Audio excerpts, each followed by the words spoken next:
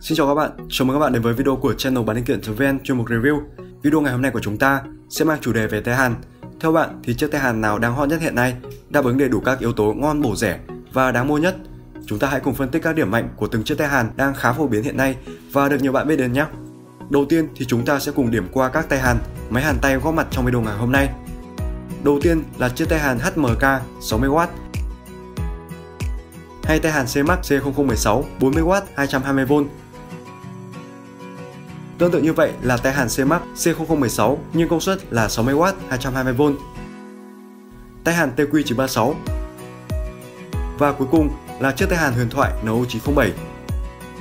Ngoài ra, thì có một số loại tay hàn đặc biệt dùng nguồn cũng đặc biệt, đó là chiếc máy hàn tay 60W dùng nguồn từ 15 đến 20V có thể dùng nguồn từ adapter hoặc bình ắc quy, có chức năng điều chỉnh nhiệt độ và các loại tay hàn dùng nguồn USB 5V hay 6V những chiếc tay hàn này điểm mạnh của nó là chỉ dùng khi bạn đi những nơi không có nguồn điện, phải dùng nguồn từ sạc dự phòng hay bình ắc quy, chứ để dùng để hàn thường xuyên thì không nên. Đặc biệt là hai chiếc tay hàn dùng nguồn USB này, bạn mà dùng thường xuyên chắc muốn bẻ luôn tay hàn này đi luôn đấy, vì tốc độ lên nhiệt của nó khá là chậm, không hàn được các mối hàn lớn. Vậy nên mình sẽ bỏ qua các loại tay hàn không dùng nguồn 220V này. Quay trở lại với các tay hàn mình đã giới thiệu ở đầu, mình và các bạn sẽ cùng phân tích tìm ra chiếc tay hàn ngon bổ rẻ nhất thời điểm hiện tại. Để đáp ứng được tiêu chí đó thì chúng ta sẽ phải tìm ra được chiếc tay hàn có đầy đủ các yếu tố sau Đầu tiên là về giá, sau đó đến ngoại hình xem có đẹp, có chắc chắn, khả năng cầm nắm có tốt hay không, rồi tính đến chuyện độ bền của tay hàn và chẳng may hỏng thì tay hàn đó có dễ dàng thay thế linh kiện hay không, linh kiện thay thế có phổ biến hay không. Cuối cùng là các tính năng, hiệu năng và hiệu suất, tốc độ lên nhiệt của tay hàn có nhanh, có ổn định hay không. Đó là tất cả các yếu tố chúng ta sẽ làm sáng tỏ trong video ngày hôm nay.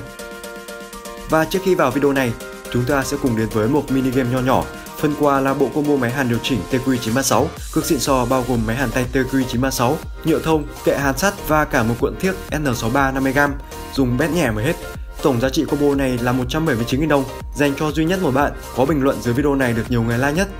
Lưu ý, bạn có thể bình luận bất cứ nội dung gì, miễn là bạn được nhiều like nhất và chỉ được bình luận một lần. Kết quả sẽ được công bố vào video lần sau. Chúc các bạn may mắn! Đầu tiên là chiếc tay hàng có vỏ màu xanh da trời, mang một cái tên khá ngắn gọn MHK 60W, có giá chỉ 60 cành nên nghiễm nhiên nó sẽ đáp ứng được yêu cầu về rẻ. Về ngoại hình thì nó mang một thiết kế khá đặc biệt, không giống như những chiếc tay hàn khác phân vỏ nhựa hơi cong cong một chút. Hai nửa phần vỏ được cố định bằng các con ốc nên tạo cho mình cảm giác không được chắc chắn cho lắm, không được nguyên khối như những chiếc tay hàn khác. Phần đầu mũi hàn hơi dài, khả năng cầm nắm thì tạm được, nếu như bạn đã cầm quen các loại tay hàn như Haku 936, Haku 907 thì cầm sang tay hàn này bạn sẽ hơi ngượng tay và chắc chắn bạn sẽ phải mất một chút thời gian bạn mới làm quen được. Nên phần ngoại hình mình vẫn sẽ nhắm mắt cho chiếc tay hàn này một tích. Nói về độ bền, linh kiện thay thế và hiệu năng thì chiếc tay hàn giá rẻ này sử dụng dây sensor, dây điện trở cuốn tròn xung quanh phần đầu mũi hàn để nung nóng mũi hàn bằng kim loại, chứ không phải dạng sensor được bọc xứ như kiểu lõi của TQ936 hay NO907. Chính vì vậy mà chắc chắn độ bền, hiệu năng không thể nào tốt bằng dạng sensor bọc xứ rồi. Cùng với đó là không thể điều chỉnh được nhiệt độ. Về linh kiện thay thế thì cũng khá sẵn bên mình, bên mình và trên thị trường. Tiếp theo là đến chiếc tay hàn, vẫn thuộc loại tay hàn giá rẻ. Nó chỉ đắt hơn sản phẩm trước có 5.000 đối với loại 40W và 10.000 đối với loại 60W. Công suất khác nhau nhưng cấu tạo, hình thức bề ngoài thì y xì nhau, nhưng mình thấy nó đẹp và chắc chắn hơn rất nhiều so với tay hàn trước.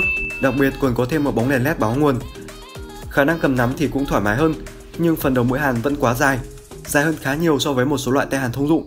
Chính vì vậy mà theo mình, dùng chiếc tay hàn này sẽ khá ngượng tay khi hàn lần đầu và hàn các linh kiện nhỏ sẽ hơi khó.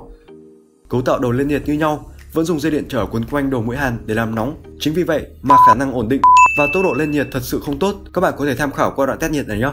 Mình test trên chiếc tay 60W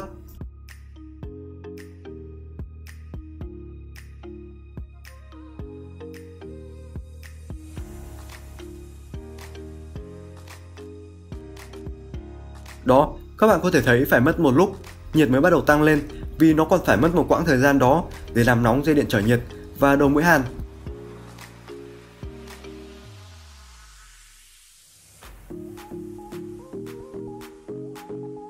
Tốc độ lên nhiệt thì mình phải nói mình không thể kiên nhẫn ngồi chờ giữ nguyên như thế này được. Mỏi tay vãi trưởng.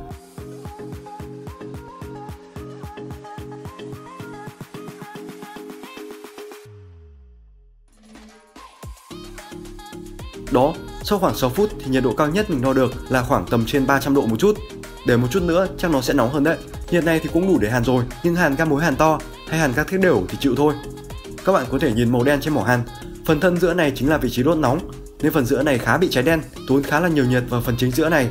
Chính vì vậy mà nó lên nhiệt hơi bị lâu. Và rồi nó cũng chẳng có thể điều chỉnh được nhiệt độ nữa. Những chiếc tay hàn này theo mình chỉ phù hợp với các bạn ít khi hàn, không thường xuyên hàn, không chuyên về điện tử thì có thể mua chiếc tay hàn này để tiết kiệm chi phí. Chứ những chiếc tay hàn này để dùng thường xuyên thì nó sẽ có một số ức chế nhất định. Đặc biệt, các bạn sẽ rất dễ phải thay sensor sau một thời gian ngắn sử dụng. Để tốt hơn thì chúng ta sẽ chuyển sang loại tay hàn tiếp theo.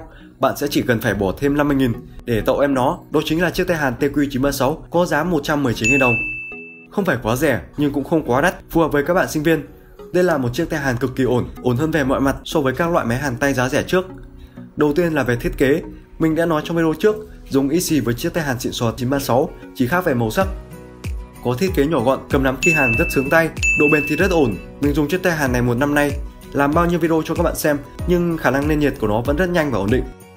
Và dù kể cả có hỏng hóc gì thì linh kiện thay thế cũng rất thông dụng và phổ biến vì nó dùng chung linh kiện như đầu mũi hàn và chụp hàn với Hako 936.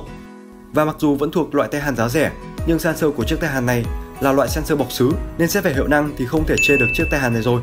Nó có một tốc độ lên nhiệt rất nhanh, hàn các mối hàn to dễ dàng, đặc biệt còn điều chỉnh được nhiệt độ trong phạm vi từ 200 đến 450 độ nữa, ăn đứt các loại tay hàn 6 đến 70 nghìn trước đó. Và nói đến điều chỉnh nhiệt độ thì không thể không kể đến chiếc tay hàn cuối cùng, tay hàn quen thuộc với rất nhiều bạn đã và đang sử dụng, mang một cái tên rất quen thuộc NO907 với giá 190.000 đồng. Giá này thì không còn rẻ nữa rồi, đây có lẽ sẽ là mức giá hơi cao so với một số bạn Chiếc tay hàn này từng được so sánh rất nhiều với chiếc tay hàn TQ936 vì cả hai chiếc tay hàn đều có chức năng như nhau, sử dụng nguồn 220V, phạm vi điều chỉnh nhiệt độ từ 200 đến 450 độ C, nhưng giá của NO907 lại cao hơn rất nhiều. Chính vì hiệu năng và thiết kế của nó, NO907 có bề ngoài bóng bẩy hơn, lớp vỏ nhựa trong suốt cứng gáp, cao cấp hơn. Nhưng mình không biết các bạn thế nào, trước mình thấy NO907 khá to và dài hơn khá nhiều so với TQ936 nên mình cầm NO907 không được thích và thoải mái bằng TQ936. Còn xét về nhiệt độ, hiệu năng và sự ổn định thì mình thấy nó chỉ nhỉnh hơn chút và có phần ngang bằng với TQ936 mà thôi nên sự lựa chọn giữa NO907 và TQ936 là một sự lựa chọn cần cân nhắc khá nhiều. Mình thì mình nghiêng về TQ936 hơn vì với mức giá rẻ, hợp lý mà nó vẫn đáp ứng tốt, đáp ứng được nhu cầu hàn thường xuyên của mình. Còn với mức giá khá cao, 190.000 của NO907, mình có thể sẽ bỏ thêm một chút tiền để mua hẳn chạm hàn, hiệu năng sẽ ổn định hơn rất nhiều. Và tóm lại thì chúng ta sẽ có một bảng tổng kết đánh giá như thế này. Với những chiếc máy hàn tay dưới 100.000 thì thực sự độ bền và hiệu năng của chúng không được tốt và cũng có thể đôi khi người ta chấp nhận hiệu năng kém để sở hữu sản phẩm với mức giá rẻ. Những chiếc tay hàn dưới 100 nghìn thì các bạn hàn thường xuyên, các bạn học và làm về điện tử thì không nên, cực kỳ không nên dùng những chiếc tay hàn này. Nó chỉ dành cho các bạn ít, không hay thường xuyên hàn thôi. Còn để hàn tốt và thường xuyên thì TQ936 và NO907 là một sự lựa chọn sáng suốt. NO907 nghiêng về vẻ bề ngoài và hiệu năng, còn TQ936 nghiêng hẳn về hiệu năng và mức giá vô cùng dễ chịu. Đặc biệt, combo của nó còn rẻ hơn nữa bao gồm một tay hàn, một cuộn thước, một hộp nhựa thông và một chiếc kệ hàn sắt, còn được tặng thêm một miếng bọt biển mà giá chỉ có 170.000 đồng thôi, chưa bằng một chiếc NO907 thì mình xin khẳng định chiếc tay hàn TQ936 này sắp tới sẽ là một chiếc tay hàn quốc dân đáp ứng đầy đủ nhu cầu ngon bổ rẻ luôn. Và vừa rồi là video đánh giá một số loại máy hàn tay phổ biến hiện nay. Các bạn thấy những chiếc tay hàn hay video này mình đánh giá như thế nào? Đừng quên hãy để lại bình luận có nhiều like nhất bên dưới video này để có cơ hội sở hữu quà tặng combo máy hàn tay TQ936 nhé. Cảm ơn các bạn đã luôn quan tâm và theo dõi video. Hẹn gặp lại các bạn ở những video lần sau.